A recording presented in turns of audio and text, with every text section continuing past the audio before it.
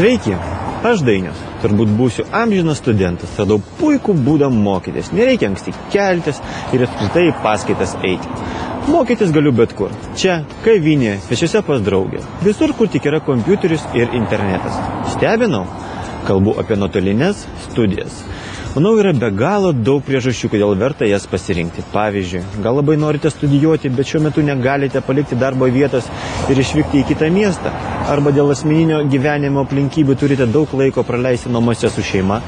O gal tiesiog finansinė padėtis neleidžia kurį laiką nedirbti ir atsidėti vien studijoms. Išeitis visada yra, o šiuo atveju tai nuotolinės studijos. Pamėginsiu ir jums papasakoti apie Lietuvos virtualų universitetą www.lvu.lt ir savarankiškam neformaliam mokymuisi skirtą portalą www.studiok.lt.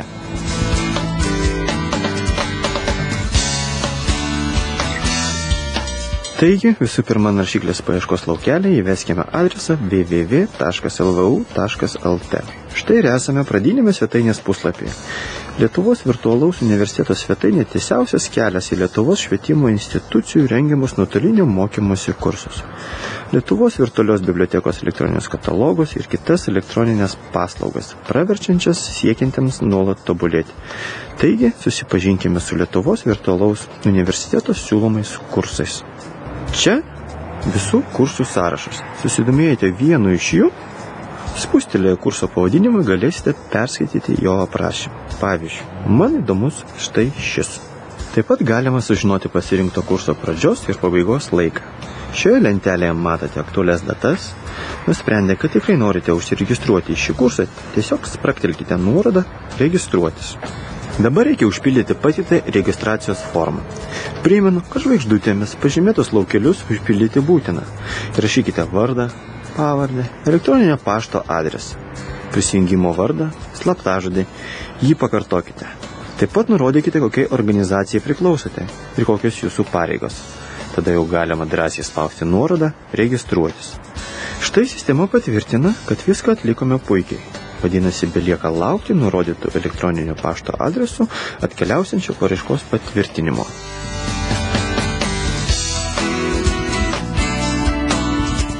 Naršyklės paieškos laukelį įveskime adresą www.studijuok.lt. Portalas www.studijuok.lt skirtas visiems, norintiems nemokamai savarankiškai neformaliai mokytis. Čia rasite viską, ko gali prireikti. Mokomosios medžiagos, nuotolinių kursų programų, atsakymų į rūpimus klausimus.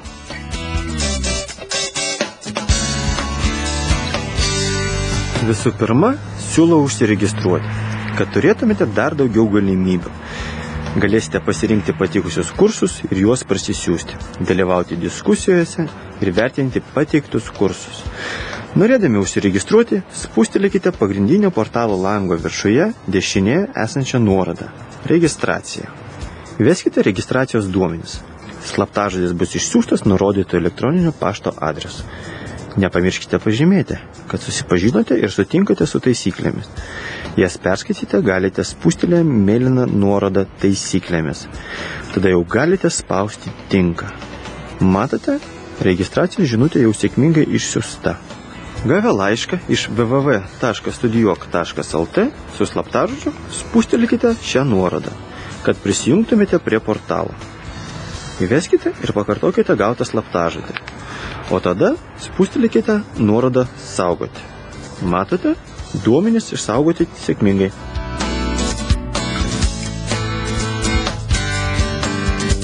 Kairėje matome kursų temų sąrašą. Pasirinkime įdomiausią.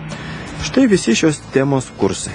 Norėdami priskirti dominantį kursą prie pasirinktųjų, spustelėkite nuorodą įtraukti mano pasirinkimus. O jei norite peržiūrėti mokymų aprašymą, spustelėkite kurso pavadinimą. Štai jau rodomas pasirinkto kurso filmukas.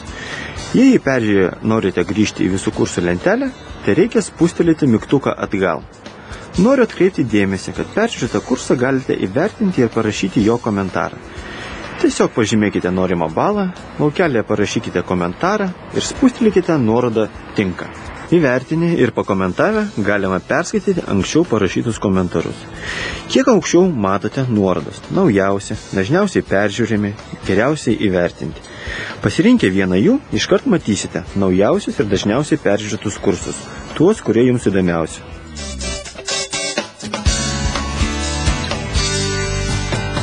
Kitas pasirinkimas – nuoroda video, kurią spustelėje galėsite pasirinkti vieną iš mokomųjų filmukų. Kairė yra temų sąrašas, galite pasirinkti įdomiausią temą ir aktualiausią filmuką. Norėdami priskirti kurį nors filmuką prie pasirinktųjų, spustelėkite nuorodą įtraukti į mano pasirinkimus. O jei norite tik jį peržiūrėti, spustelėkite jo pavadinimą.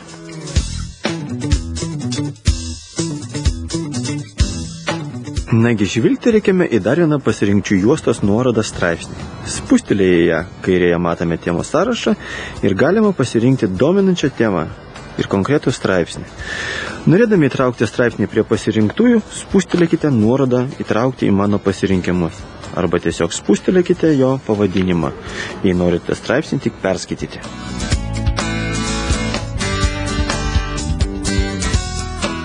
Gaila, bet kol kas garso įrašo skyriuje informacijos nėra. Jei netrukus jos atsiras, pasirinkti dominantį garso įrašą ir jį perklausyti bus taip pat paprasta ir patogu, kaip susipažinti su kursais, žiūrėti filmukus ar skaityti straipsnius. O gal būsime pirmieji čia įkėlę savo mokymų? Juk tai tikrai būtų šaunu. Taigi skubu parodyti, kaip tai padaryti.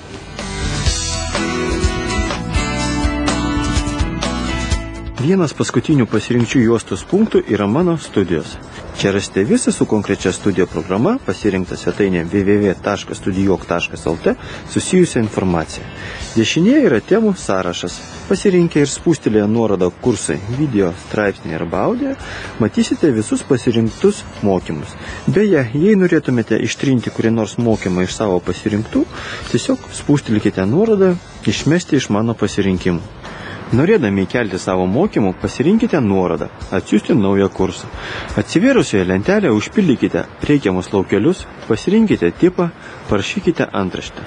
Tai yra mokymasi kurso pavadinimą. Įrašykite raktinius žodžius ir įkelkite įrašą iš savo kompiuterio. Viską užpildę, spustelėkite, saugote. Skyriuje mano studijos pasirinkę nuorodą nustatymai galėsite pakeisti savo slaptažodį. Laukeliuose įveskite 416 simbolių slaptažodį, jį pakartokite ir spustelkite mygtuką saugoti.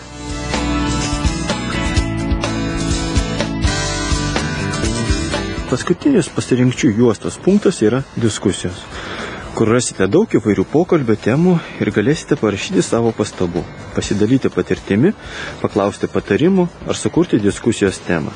Norėdami skaityti diskusijas, spustelkite pasirinktos temos pavadinimą. Lango apačioje pamatysite lentelę, kur ir galite rašyti savo komentarą. Tada spustelėkite tinką ir jūsų komentaras atsidurs prie kitų diskusijos pastabų. Įdomu, kaip kūriamos naujos diskusijų temos, tam tai reikia grįžti į diskusijų temų sąrašą ir jo pačioje esančioje lentelėje įrašyti kūriamos diskusijos pavadinimą. O tada spustelėti mygtuką tinka.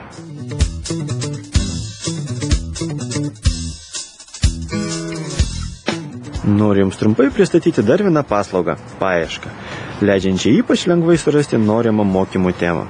Tai reikia šiame laukelėje įvesti žodį apibūdinantį reikalingą temą ir spustelėti nuorodą ieškoti. Štai kaip nesunkiai radau, ko norėjau. Tikiuosi dabar ir jūs įsitikinate, kad pasirinkti nuotolinės studijas iš ties verta. Tai labai patogu ir dažniausiai nemokama. Taigi, nedelskite.